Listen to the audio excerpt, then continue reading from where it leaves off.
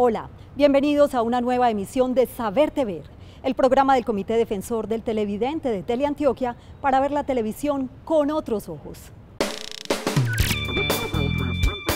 Saberte ver, saberte ver.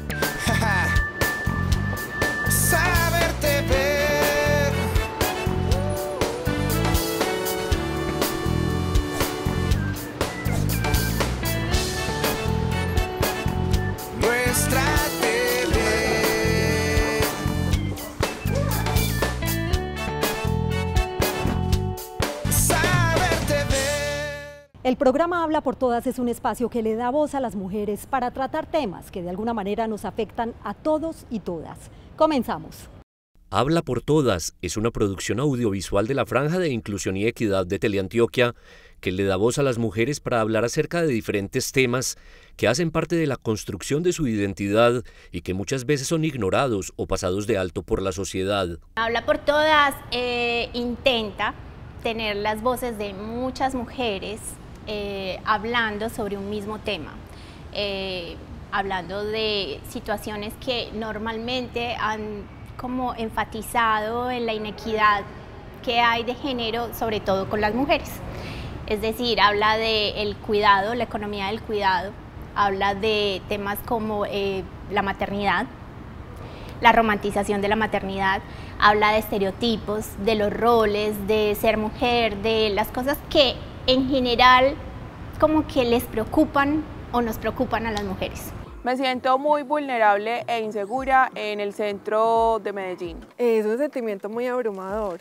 Siento que me están observando, siento que me están siguiendo, siento que en cualquier momento algo me puede pasar. Bueno, me siento insegura en mi propia casa, dado que por la tipificación de esta violencia, como es violencia intrafamiliar, se produce dentro del domo, en la cotidianidad, frente a mis hijos, eh, de una manera muy silenciosa, lejos como de, de, los ojos de la gente, por lo tanto, eh, mucho más compleja de visibilizar. Como mujer me siento insegura la mayoría del tiempo. Eh, en las redes sociales es, digamos, donde más me siento insegura, por partes donde hayan muchos hombres como así en, pues, en reunión o en conjunto, me da mucho miedo. Pues es como, no miedo como tal, sino como, como que quiero evitarme lo que yo ya sé que va a pasar. En el de violencia queríamos hablar qué tipo de violencias eh, sufren en general, sufrimos las mujeres. Y eh, en este caso, cada una empezaba diciendo, eh, a mí, por ejemplo, eh, me da susto, no me pongo falda en la calle o eh, empiezan con frases como me siento insegura en tal lugar, mmm, a mí me pasó esto, a mí me pasó lo otro. Y normalmente siempre empiezan varias mujeres diciendo como frases eh, sobre un asunto y luego entra una experta y nos da contexto sobre esa situación y nos explica eso cómo genera inequidad de género. En este programa tienen cabida todas las mujeres regionales, independientemente de sus diferencias físicas o de credo y cultura, de su estatura o formación académica, su pasado o profesión. En el ser plurales está la riqueza de la que se alimenta el programa. La calle se convierte en un lugar inseguro para mí y más aún si estoy sola y más aún si es de noche. Historias que ayudan a ver y entender cómo desde la cotidianidad en la que construyen sus días, sus vidas y proyectos, las mujeres demuestran y dejan ver sus miedos y temores, además de ser y de hacer cosas grandes. Hay quienes dicen que las mujeres podemos ser más vulnerables, otros dicen que en realidad tenemos paranoia, pero desde mi experiencia profesional pienso que sí hay una mayor vulnerabilidad. Sobre Habla por Todas, el señor José Gustavo Arango plantea la siguiente sugerencia. Al correo defensor arroba teleantioquia.com.co nos escribe el señor José Gustavo Arango de la ciudad de Medellín, quien manifiesta su inconformidad luego de ver uno de los capítulos del programa Habla por Todas, en el cual, según el televidente, se refirieron de alguna manera a los mecánicos como un gremio que abusa de las mujeres. Yo no paso por la mitad de dos hombres que estén conversando en una acera. Eh, siento que ahí puede haber un asunto de vulneración. Nunca paso y lo evito completamente los lugares donde hay eh, mecánicos. Eh, me ha pasado muchas veces que con mecánicos es, paso y, me gritan o, se me acercan al oído, me han tocado la mano. Entonces yo digo, ¿qué voy a hacer aquí? Pues este hombre me saca un hombre solo y me noquea, ¿cierto? Uno qué hace en esas, en esas circunstancias. El señor José Gustavo Arango cuestionó de manera contundente lo que escuchó en el programa, defendió esta labor e invitó a no generalizar, ya que como en todas las profesiones hay gente honesta y trabajadora que sostiene a su familia trabajando como mecánico. En el caso de la invitada, ella habla de una situación eh, personal ella incluso aclara, me ha pasado que en talleres o lugares donde hay mecánicos se siente incómoda y que los evita.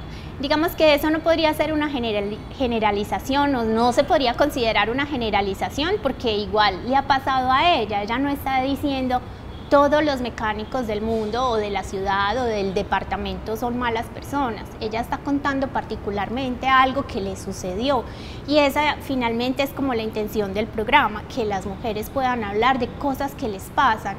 Ahí no está dando por e, sí, no está dando un nombre de una persona porque seguro no la conoce, fue en la calle y una de las situaciones de acoso que más pasa es en la calle.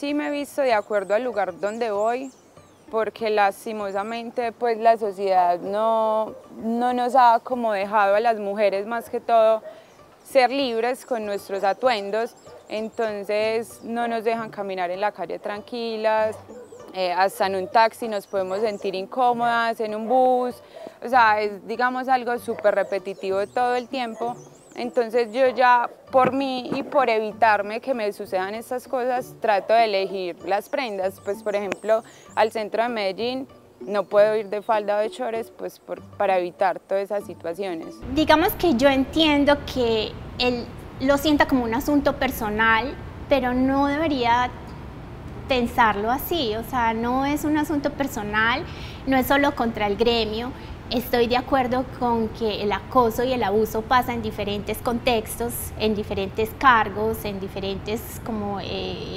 eh, ambientes, pero em, reitero, no debería tomárselo como algo personal porque finalmente eh, es una mujer a la que le pasó una situación y si nos la pasamos negando las situaciones que le pasan a cada mujer, entonces finalmente no vamos a reconocer los problemas que hay. A la mujer de alguna manera se le ha enseñado a que tiene menos libertades que los hombres. Es algo que estamos en proceso de cambiar socialmente, pero es desde esa construcción social que esos miedos se manifiestan. Elkin Naranjo, director del programa de Leones y Mariposas, nos cuenta de qué trata esta propuesta audiovisual que se emite por Teleantioquia y que además pueden ver en nuestra página web. De Leones y Mariposas es una serie documental que narra la vida y trayectoria de personas que se reconocen como parte de la población de los sectores sociales LGBTI. Su propósito es generar empatía como forma de erradicar la discriminación a través de presentar seres humanos comunes y corrientes, cuyo acto extraordinario ha sido el de llevar una vida llena de valentía, de color y de autenticidad. Cada capítulo responde a una temática propia de esta población y narra la vida de tres personas de diferentes municipios del departamento. De Leones y Mariposas es la serie documental de Teleantioquia que le apuesta a visibilizar las historias de vida de personas que se reconocen como parte de la población LGBTI. Es un recorrido por toda Antioquia buscando esas historias que son historias de valentía, de personas que se asumen públicamente como gays, como lesbianas, como bisexuales o como trans y que a partir de esa diferencia empiezan a construir espacios de convivencia también en sus territorios, a partir de generar empatía, reconocer las diferencias y liderar diferentes procesos y escenarios. Soy Raúl Esteban Valencia, ahora Raúl, una persona diversa, que ha transitado por la identidad hasta llegar a, lo no binario, persona que vive con VIH desde los 18 años y con SIDA a partir del 2012. Algunos de los temas son arte drag, activismo juvenil, familias, tránsitos de género, la relación de lo LGBTI con el arte, con el deporte, entre otros. Yo soy de Chigoró, Antioquia, pero por circunstancias de la vida, por la violencia que hubo en, el, en los años 2000, en el 2000, me trasladé del... En ese momento estábamos viviendo en el corregimiento de Bajirá, un corregimiento de Mutata, Antioquia. Al pasar estos sucesos, estos sucesos, mi madre, en ese entonces yo tenía 8 años, nos trasladamos al municipio de Dabeiba y desde eso entonces Dabeiba me adoptó como una hija. Lo que hacemos es ir, eh, digamos, a conocer a esa persona, no solo en eso que la hace diferente, sino en su integridad, su historia de vida, sus apuestas, sus luchas, sus sueños, sus fracasos, conocer sus entornos. Y digamos que el objetivo de todo esto es hacer que eso que parece tan diferente, tan distante, se nos vuelva cercano, se nos vuelva parecido, se nos vuelva familiar, y la gran apuesta del canal es aportar a la erradicación de la discriminación. El nombre de Leones y Mariposas fue inspirado en un libro de la Corporación El Solar como homenaje a León Zuleta, fundador del movimiento de liberación homosexual en Colombia en los años 70 y también como recordatorio de la diversidad de la vida misma. Somos leones, somos mariposas y somos de muchas otras formas posibles.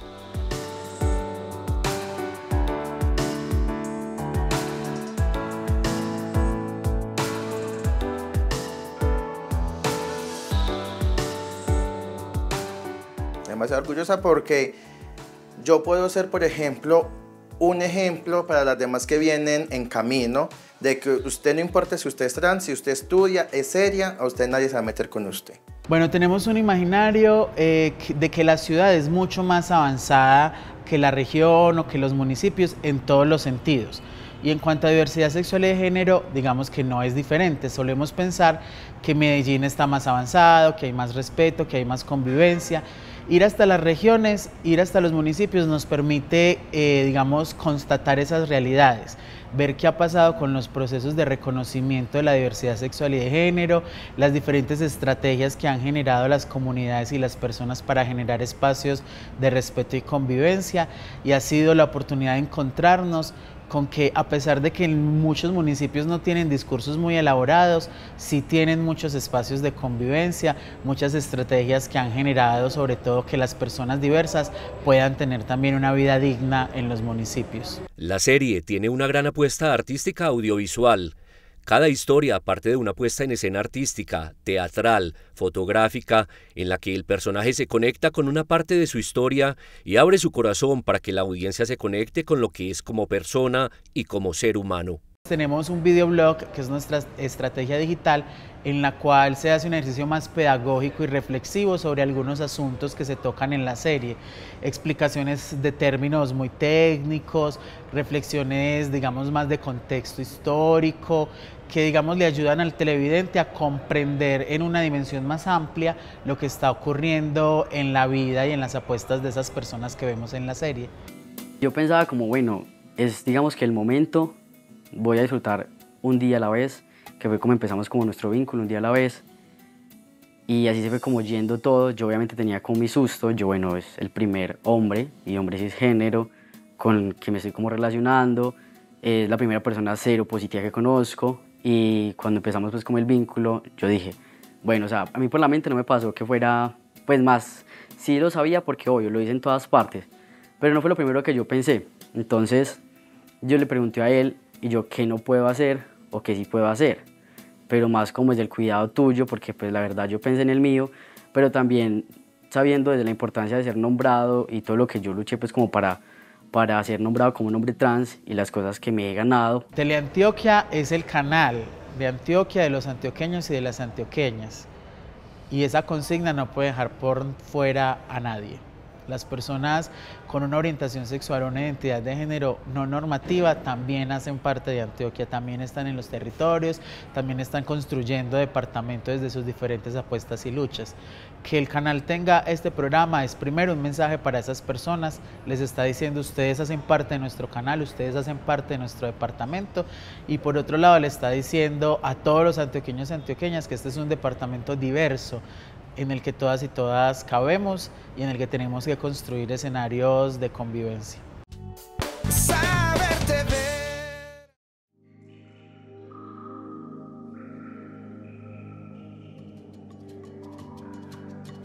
En la ciudad de Medellín exclusivamente, las mujeres negras, en la gran mayoría de los imaginarios colectivos que se han tejido, siempre se cree que vienen a presentar o a prestar servicios domésticos en restaurantes, cuidando niños, a emprender... Tonos de piel es una serie documental que se emite por Teleantioquia. Esta serie resalta el valioso aporte de las poblaciones afrodescendientes en el territorio. Hablamos con su directora, Jenny Cuesta, quien nos contó la importancia de este proyecto donde se busca resaltar los aportes culturales, artísticos, sociales y políticos de las comunidades negras afrodescendientes en Antioquia. Trabajan el cabello afro en todas sus dimensiones y en esa gama también hay mujeres que elaboran los productos. Mi nombre es Eni Cuesta, eh, soy la directora de la serie Tonos de Piel de Teleantioquia, en esta versión con su segunda temporada. Tonos de piel en este momento lo que busca es resaltar los aportes culturales, artísticos, sociales, políticos de las comunidades negras afrodescendientes en Antioquia, que han venido por causa de la migración o muchos de ellos han nacido y lo que buscamos o lo que estoy buscando también de fondo es crear una crítica y un aporte de análisis eh, donde podamos empezar a evidenciar también qué nos ha faltado como comunidad para que eh, día tras día resaltemos esos valores culturales de las comunidades negras y nuevamente, como les decía, esos aportes que están haciendo en Antioquia. En el programa vamos a encontrarnos con temas de liderazgo políticos de las mujeres afrodescendientes, vamos a encontrarnos cuáles son los aportes artísticos y culturales en los diferentes departamentos eh, y municipios. Podemos encontrarnos con eh, el trasfondo también que hay dentro de la gastronomía afrodescendiente en Antioquia y todo esto muy ligado no solamente a, entrar como a mostrarlo de una manera de pronto eh, muy folclórica, sino que realmente conozcamos de fondo esos subtemas que llevan a las comunidades negras a participar de estos espacios.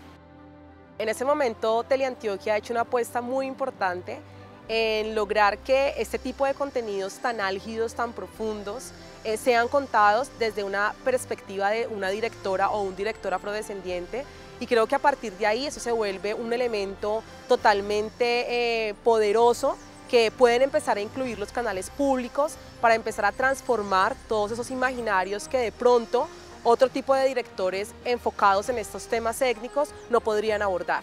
Creo que la importancia que Tonos de Piel en ese momento esté en el canal, exista y que sea contado por una persona afrodescendiente hace una diferencia enorme en torno a que las temáticas sean contadas con total conciencia y total representatividad. Quiero invitarlos a que estén muy conectados en Teleantioquia con esta temporada que va a venir de tonos de piel. De seguro va a ser una temporada totalmente eh, sorpresiva, llena de riqueza, llena de información, de aprendizaje, eh, y sobre todo eh, va a ser un momento y un espacio donde pueden reunirse los niños, papás, amigos, para empezar a aprender de los aportes de las comunidades negras aquí en Antioquia. La EduMóvil visitó la comunidad indígena Carmatarrúa en el municipio de Jardín. Allí capacitó a 26 jóvenes en la creación y desarrollo de los contenidos audiovisuales. Los 26 jóvenes luego vinieron a las instalaciones de Teleantioquia para conocer y vivir la experiencia de cómo se hace la televisión pública en las instalaciones de nuestro canal. Mi nombre es Robinson Tascón, soy comunero del resguardo indígena de Carmatarrúa, Cristianía Jardín. De acuerdo a los procesos organizativos que tenemos nuestros pueblos eh, originarios eh, en gestión y todo esto, eh, hemos logrado tener contacto con el canal y especialmente con los organizadores a través de la gobernación y todo esto. El Edu Móvil de, de Teleantioquia ha llegado a la comunidad por primera vez hacer y orientar a los jóvenes, el cual pues es un privilegio eh, ingresar a esas tecnologías, a los medios de comunicación a, través de los canales y adquirir las experiencias. Y a mí como también me encanta mucho lo que es la radio, trabajo mucho en la comunidad en el tema del sistema de radio y me refuerzo y me retroalimento más con estos nuevos sistemas tecnológicos y, y el tema audiovisuales. Yo soy Carolina Tasconiaza del resguardo indígena Carmatarroa Cristianía, ubicado en el suroeste antioqueño.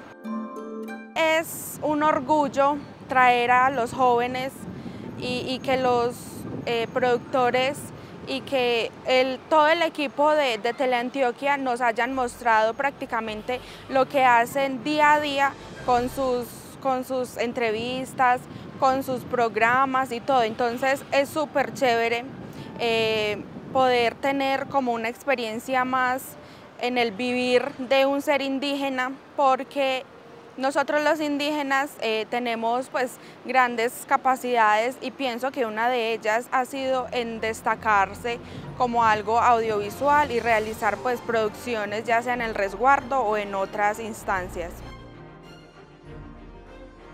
Yo me llamo Silvio Nel Cértiga Tascón, vengo del resguardo indígena de Cristianía Carmatarrua. Llevo, llevo seis años, seis años haciendo videos, o sea, documentales propios de, de mi comunidad.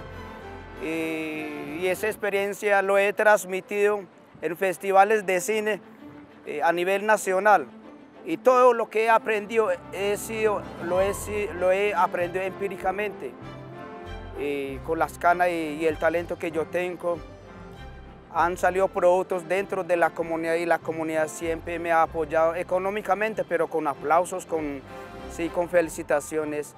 Pero les doy las gracias a Teleantioquia por el primer taller o primer, por el primer encuentro que, que se hicieron dentro de la comunidad.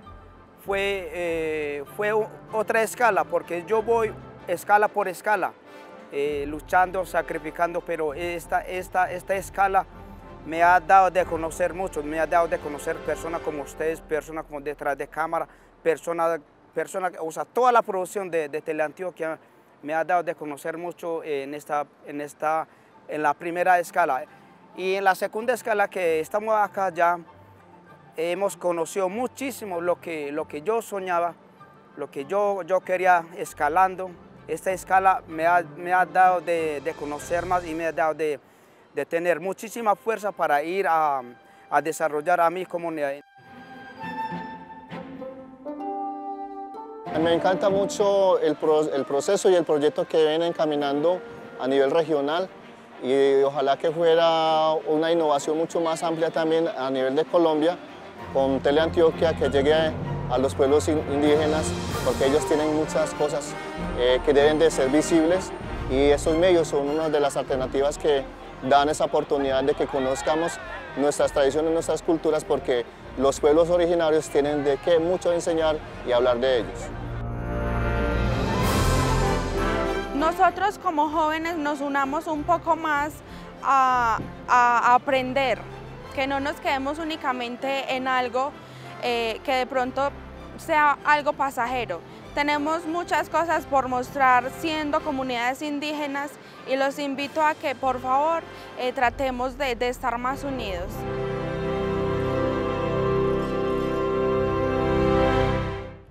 Nuestro principal objetivo es la formación de audiencias críticas frente a nuestros contenidos. Por esta razón, sus comentarios y sugerencias son muy valiosos para mejorar nuestra programación cada día. Esperamos que sigan escribiendo al correo defensor.teleantioquia.com.co. Saberte Ver es el programa del Comité Defensor del Televidente de Teleantioquia para ver la televisión con otros ojos. Nos encontramos en nuestra próxima emisión. Hasta pronto.